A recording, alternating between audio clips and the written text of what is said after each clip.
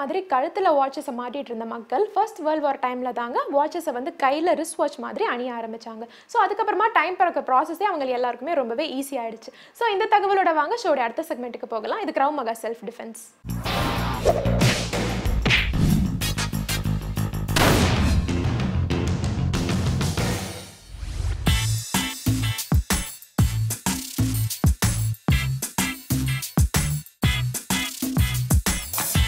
good morning Vendhar TV புத்தம்புது காலை நிகழ்ச்சியில் இந்த கிராவமாக வந்து ரொம்ப பாப்புலரான ஒரு நிகழ்ச்சி. கிட்டத்தட்ட ஒரு இருபது எபிசோடுக்கு மேலே நம்ம பண்ணிட்டோம். இப்போ இன்னும் நிறையா விஷயங்கள் வரப்போகிற எபிசோடில் வந்து இன்னும் கொஞ்சம் அட்வான்ஸான விஷயங்கள்லாம் கூட நம்ம பார்க்க போகிறோம் போன எபிசோடில் வந்து வார்ம் அப் ஆரம்பித்தோம் ஒரு வார்ம் அப்பில் என்னென்ன ஸ்டேஜ் இருக்குது கார்டியோ அதுக்கப்புறம் வந்து ஜாயிண்ட் லூப்ரிகேஷன் அப்புறம் ஸ்ட்ரெச்சிங் இப்படி நிறைய ஸ்டேஜ் இருக்குது எதுக்கு சார் இவ்வளோ ஸ்டேஜஸ் டீட்டெயில்டாக வச்சுருக்காங்க? சரி ஒரு ஃபிட்னஸ்ஸுங்கிறது ஒரே விஷயம் கிடையாது. ஸ்ட்ரென்த்து மட்டும் இருந்தால் அவன் ஃபிட்டுன்னு சொல்ல முடியுமா? பாடிக்கு வளையக்கூடிய தன்மை இருக்கணும் ஃப்ளெக்சிபிலிட்டி இருக்கணும். ஃப்ளெக்சிபிலிட்டி மட்டும் இருந்து அவனுக்கு ஸ்டாமினாவே இல்லை அவனுக்கு வந்து கார்டியோவாஸ்குலர் ஃபிட்னஸ் அதாவது ஹார்ட்டும் லங்ஸும் நல்லா ஃபங்க்ஷன் ஆகி நல்லா மூச்சு விடுறது அந்த கெப்பாசிட்டியும் இருக்கணும். ஸோ ஃபிட்னஸ்னால் ஒரு விஷயம் மட்டும் ஃபிட்னஸ் கிடையாது. ஸ்ட்ரென்த்தும் இருக்கணும் மூமெண்ட்டும் இருக்கணும். ஃப்ளெக்சிபிலிட்டி இருக்கணும் பாடி நல்லா சப்புலாக வளையணும் கார்டியோவேஸ்குலர் ஸ்டாமினா இருக்கணும். இதை தவிர சில சின்ன சின்ன விஷயங்கள் இருக்குது இப்போ ஃபார் எக்ஸாம்பிள் ஏஜ் ஆகும்போது நிறைய பேருக்கு பேலன்ஸ் போகும். ஸோ பேலன்ஸ் இம்ப்ரூவ் பண்ணுறதுக்கும் எக்ஸசைஸ் இருக்குது ஸோ நம்ம ஏஜுக்கு தகுந்த மாதிரி வார்ம் அப் பண்ணலாம். இப்போ சின்ன பசங்களுக்கு பார்த்தீங்கன்னா வார்ம் அப் வந்து டிஃப்ரெண்ட்டாக இருக்கும். சின்ன பசங்க வந்து இந்த மாதிரி நின்று கேட்க மாட்டாங்க. அவங்களுக்கு வந்து எல்லாம் கேம்ஸாக இருக்கும். அதே மாதிரி கொஞ்சம் ஏஜட் பீப்புளுக்கு வார்ம் அப் கொடுக்கும்போது அவங்க கெப்பாசிட்டிக்கு என்ன பண்ண முடியுமோ அதை பார்த்து கொடுக்கும் நம்ம எல்லாருக்கும் ஒரே மாதிரி வார்ம் அப் கொடுக்கக்கூடாது. இப்போ ஆஃபீஸ் ஒரு ஐடி கம்பெனிக்கு போகிறோம் கிளாஸ் நடத்துகிறோன்னா அவங்களாம் அதிகமாக எக்ஸசைஸ் பண்ணி பழக்கம் இல்லாதவங்க. போனவொன்னே ஹார்ட் வார்ம் அப் கொடுக்கும் லைட்டாக கொடுத்து கொஞ்சம் கொஞ்சமாக அவங்க உடம்பு ரெடி பண்ணணும். ஸோ இந்த உடம்பை ரெடி பண்ணுறது மட்டும் பத்தாது மைண்டையும் ரெடி பண்ணணும். ஸோ நாலாவது ஸ்டேஜ் ஆஃப் வார்ம் அப் வந்து கேம்ஸ் இப்போ கேம்ஸில் வந்து நம்ம உடம்பை ரெடி பண்ணிட்டோம். மைண்டை வந்து அலர்ட்டாக இருக்கிறதுக்கு கேம்ஸ் இருக்குது நம்ம முன்னாடி ஒரு எபிசோடில் வந்து நம்ம வந்து ஒரு டச்சிங் கேம் பார்த்தோம். அதாவது இப்படி கை வச்சுப்பாங்க. இங்கேருந்து இதை டச் பண்ணுவாங்க இதை அவாய்ட் பண்ணுவாங்க. அந்த கேம் ஞாபகம் இருக்கா? அதான் மைண்ட் எப்படி அலர்ட்டாக இருக்கணும் அப்படிங்கிறதுக்கு. அதை ஒரு தடவை விளையாடுவோம். ஸோ டேக் அ பார்ட்னர் அந்த சைடு இருக்கிறவங்க கையை மேலே வச்சுக்கோங்க. கை மேலே வச்சுக்கோ. இந்த சைடு இருக்கிறவங்க கீழே வச்சுக்கோங்க. நான் நீ வந்து இந்த கையை டேப் பண்ணு. ஆ நீ அவாய்ட் பண்ணு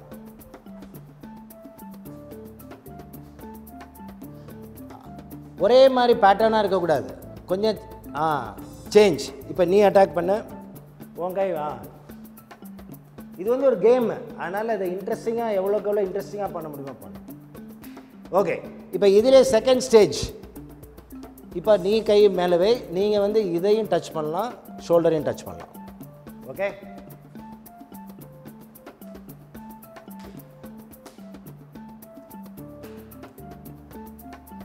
சேஞ்ச்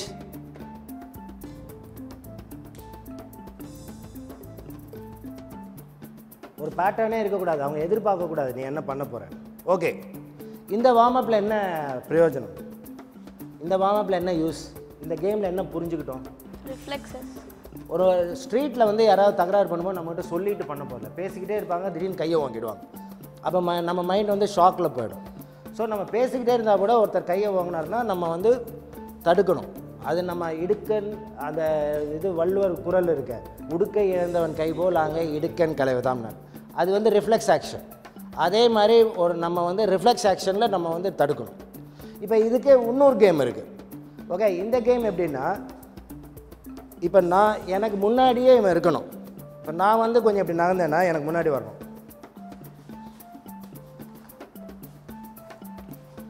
ஓகே ஸோ நான் ஒரு இன்ச்சு நகர்ந்து அவன் ஒரு அடி நகர வேண்டியது.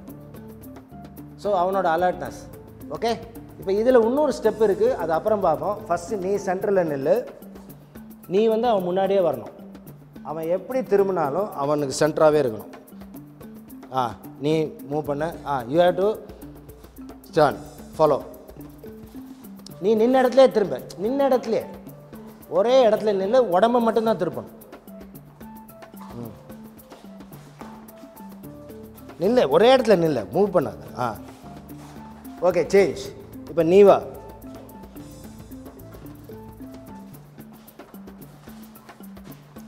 நீ ரொம்ப டேர்ன் பண்ணேன்னா அவன் ஆறு அடி போகணும். அதனால் கரெக்டாக நின்ன இடத்துலையே. ஆ. ஓகே இப்போ இதுலேயே இன்னொன்று சேர்க்கலாம். இப்போ ஃபார் எக்ஸாம்பிள் இப்போ நாம் மூவ் பண்ணிகிட்டே இருக்கேன். திடீர்னு அடிக்கலாம். அப்போ அவன் பிளாக்கும் பண்ணணும். ஸோ எப்போ அடிக்க போகிறோன்னு தெரியக்கூடாது. Okay so move. ஸோ இப்போ கேம் விளையாடும்போது நம்ம அட்டாக்கும் பண்ணணும் அவங்க டக்குன்னு டிஃபெண்டும் பண்ணணும் ஸ்டார்ட் ம். நீ லெஃப்டில் அடி.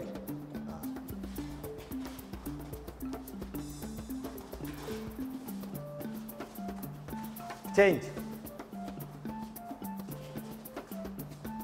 நீ ஒரே இடத்துல நில்லு. மூவ் பண்ணாது. திரும்புறது மட்டும்தான். ஓகே ஸ்டாப் இப்போ இந்த கேம் வந்து மூமெண்ட்டு வித் அலர்ட்னஸ் நம்ம கிராமமாகவே சேர்க்குறோம். சில சமயம் மூமெண்ட்டுக்கு சில கேம் இருக்குது இப்போ பார்த்தீங்கன்னா இப்போ இது ஒரு கோடு இருக்குன்னு வச்சுக்கோங்க. இந்த கோடுக்கு இந்த பக்கம் போயிட்டு கால் இந்த பக்கம் வருது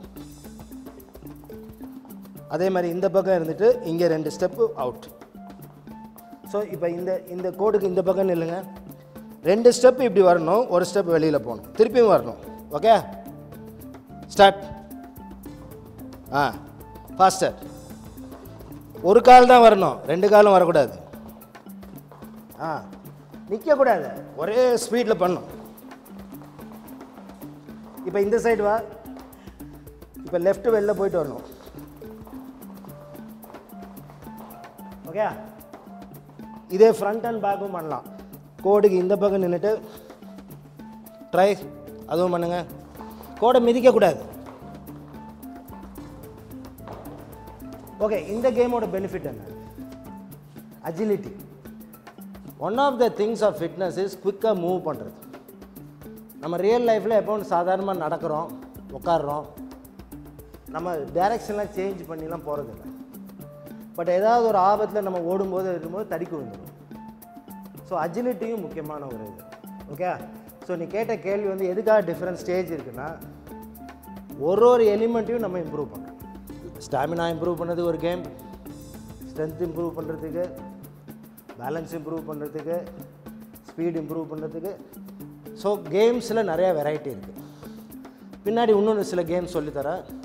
ஸோ நேரில் இன்றைக்கி நீங்கள் பார்த்தது வந்து மென்டல் கேம் இந்த கேம்னால் நம்ம ஃபிசிக்கல் ஃபிட்னஸும் இம்ப்ரூவ் ஆகும் மென்டல் ஃபிட்னஸும் இம்ப்ரூவ் ஆகும் க்ளாஸும் நல்ல வேடிக்கையாக நல்லா என்ஜாய் பண்ணுற மாதிரி இருக்கும். ஸோ இந்த மாதிரி புது புது விஷயங்கள்லாம் இந்த நிகழ்ச்சியில் கற்றுப்பீங்க அடுத்த எபிசோட் புத்தம் புது காலையில் இதே கிராம நிகழ்ச்சியில் திருப்பி சந்திப்பேன்